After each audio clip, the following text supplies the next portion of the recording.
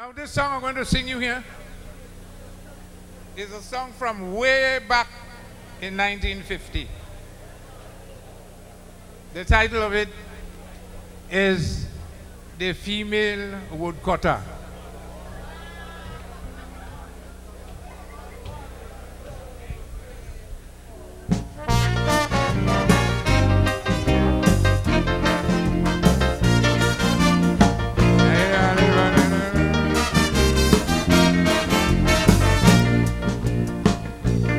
Lady have a sawmill, cutting wood, cutting from brambles to timber, she cutting wood. The lady have a sawmill, cutting wood, from brambles to timber, she cutting wood. There was a wood owner named Packers Way, carried a big log of wood, for she to cut one day. When she see the wood, she start bawling murder. Mister, this log of wood sure to break me so. And with a solemn song, Mister, come out me yard, I beg you hard. Please come out, me and I beg you hard. He said, I hear you just cut wood good, but you're frightened for your soul when you see hardwood. Yeah. La la. La la.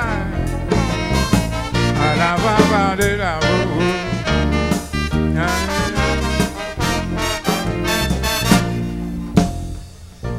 The lady turned her back and went inside because to cut this log of wood she would not decide.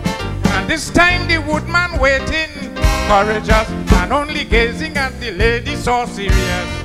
He begged the lady like a child to cut the wood. The lady replied, Mr. Miss Saw is not so good. He said, Madam, you could use some grease. Just take your time, you could cut this log piece by piece. And it's to here she will dismiss. So come out, me yard, I beg you hard. Please come out, me yard, I beg you hard. He said, I hear you just cut wood, wood, wood. But you're frightened for your soul when you see hardwood. Terror. Never do. La da bo mi de de la la do be de de. De be de. Yes, I couldn't help but laughing heartily because I knew what would become of this poor lady. But if you see how this wood glossy and it long and heavy, well it ain't crap or it ain't sip, neither it ain't pre. But we are sit down and we move. I want to see how this lady going to meet her destiny? She won the job, but she afraid to start. Every time she was this big log, it breaks she heart. And it's to hear she will dismiss. So come out, me yard, I beg you hard. Do come out, me and I beg you hard. He said, I hear you just got wood, good, good. But you're frightened for your soul when you see hardwood. Sir. La da da la la do do. Da la do.